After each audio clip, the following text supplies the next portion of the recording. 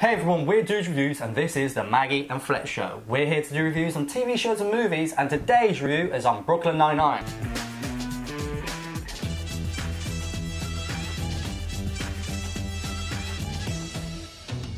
Brooklyn Nine-Nine first premiered back in 2013 and IMDb gave it a score of 8.3 and Rotten Tomatoes a score of 95%. Even better. So it's right up there with the Huygens. And now Max is going to do a quick synopsis. So this TV show is about a detective division in Brooklyn that nobody cares about, but mhm. with the right captain and the right leaders, they could become the best. Yeah, so we've got Andy Samberg, he plays Jake Peralta. Andy Samberg, probably best known for what he's lead singer in Lonely Island. He He's is. been in That's My Boy.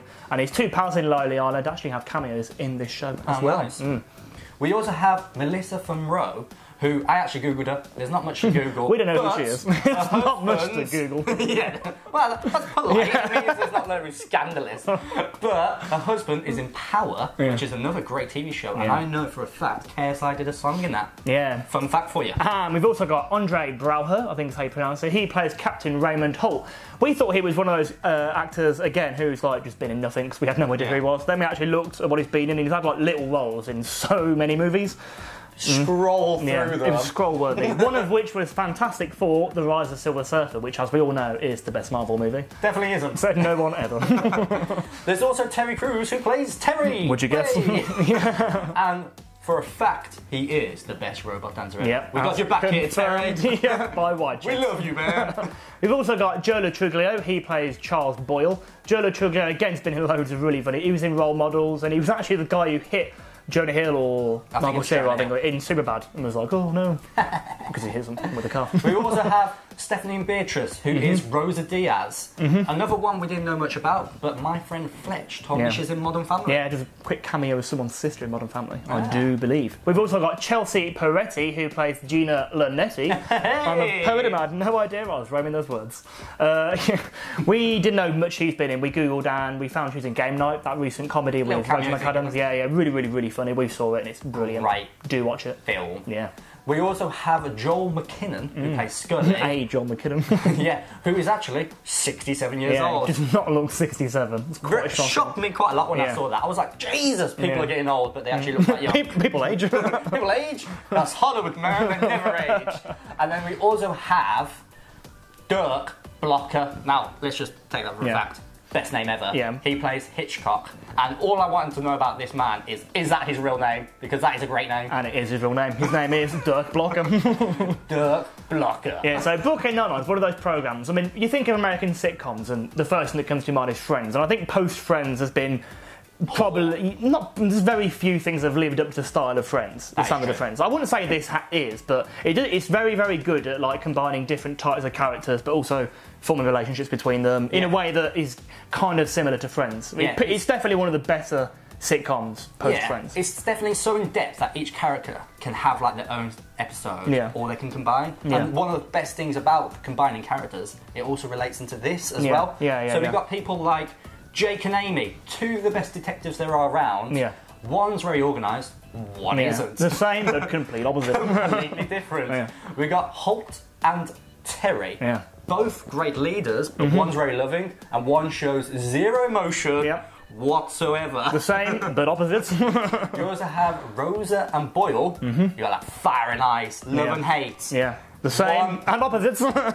Tough person, not so tough Yeah. person. We'll and leave then, you to figure out who's who. yeah, we will. And then you also have a great side cast of Scully, Hitchcock, and Gina, who Yeah. are great on their own and have episodes on their own, but they're just there for just like bouncing off really well off people. Yeah, I think one of the one of the really good things about this show as well is it's actually a lot of what we see is actually improvisation. I, I can't remember the guy's name, but the co-writer of this is also the co-writer of Parks and Rec, most of the episodes in Parks and Rec, and uh, they, they use that method in both of these shows where like they film it once and they're like, cool, yeah, we've got that, let's film it again, but you can do whatever you want. And I think actually that most of the scenes in well not most, a lot of the scenes Majority. in here are actually just improvisation, which, Which is quite. adds to the comedy value. I still think that's a great way of filming stuff. yeah, yeah, yeah. Because the old improv. the old improvisation. That's what we're doing now. Oh my god. Another great point about this TV show is that it got cancelled. yeah, that's not a great point. It's a sad point. Someone's just saying it got cancelled. Fox got rid of it for some bizarre reason, but because Yeah. the fans went so mad on all social platforms Yeah. that like Literally, Twitter and Yeah. Instagram went Yeah, mad. they went mad, and then NBC within like the next day was like, okay, we'll Yeah. buy it, and they brought it straight away. Literally because, less than 24 hours. yeah, literally less than 24 hours, and I think that is because the fans saved the show because Yeah. it's that good. Yeah, and it's not just the fans that love this show. Amazing! Interestingly, Andy Samberg actually went to take a break from TV before he read the script for this, and he was like, "Nope, no more. Have a break." I Then he read show this script and was like, "This is that funny. I cannot do this." So I if that's not cannot. motivation to watch this, I don't know what is. yeah, Don't. we're trying, we're trying to make you watch it.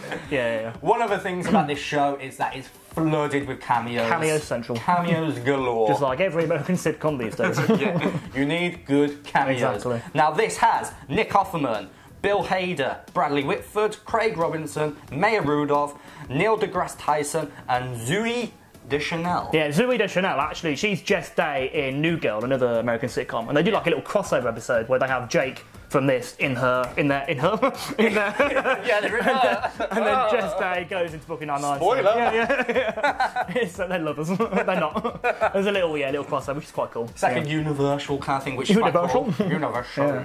MCU much? it's like DC but darker. And we have to give one shout out actor in this. Yeah. And we, We admittedly, both agreed this, yeah. Uh, All we've done is talk about favourite. actors. Yeah, yeah, yeah. We're to give you one more. So many. because we both agreed he is amazing. And Yeah. he is Jason Manz- He can't say it. It's Manzukas, I think. Manzukish? Yeah, yeah. Manzukush? Mm. Or Manzukas? Definitely not how you pronounce it. Manzukas? Manzukas. Manzukas. Manzukas. Manzukas. He plays Adrian Pimento, Yeah. who is unbelievably crazy, amazing, Yeah. brilliant, He's a, he's a, spectacular. like, there's so many words. the adjectives. You look at how he plays this role, Yeah, and you yeah, just yeah. don't know how to describe it. It's it. very, it's fiery. Fire is a good word. Passion. Yeah. and as we always say, music makes a movie, but again, it's a TV show. So music makes the TV show. It's not actually as yeah, it's not actually the song as per se, but there's a bit where uh, they're interrogating, well, they're doing the, the police Yeah. set out, and uh, to help identify the uh, criminal, they make them sing Backstreet Boys, "I Want It That Way," and I think that rendition of Backstreet Boys, "I Want It That Way" is my favourite. Well, it's my favourite song in the whole. and they found a suspect. series. Yeah, and they found it because of Backstreet Boys. Music saves lives, But people. really, it's all about the. Yeah, yeah. Good theme song. Yeah. So that has been Brooklyn Nine-Nine. We love this show. Yeah. We feel like everyone should watch it. So good. We listed all the characters. You probably recognise a few. You Yeah. want to watch it now. Yeah, yeah, yeah. You saw this great cameo. Yeah. If you're looking for a new sitcom to watch, Brooklyn Nine-Nine, if you haven't seen it, it's definitely a good one to watch. Definitely. Yeah. We've been Dudes Reviews. That was Brooklyn Nine-Nine. Leave a like and subscribe. And if you do watch it, let us know what you think of it in the comments below. Peace.